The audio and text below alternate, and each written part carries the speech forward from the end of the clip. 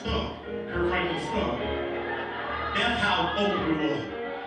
But then we would come back and we would do an anthem on it. Amen. I should pull up these lines. No, I did not do that. we, no, we did that one.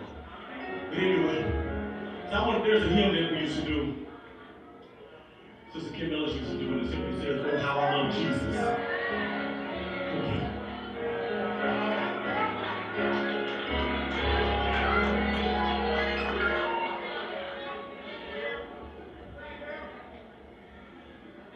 Okay.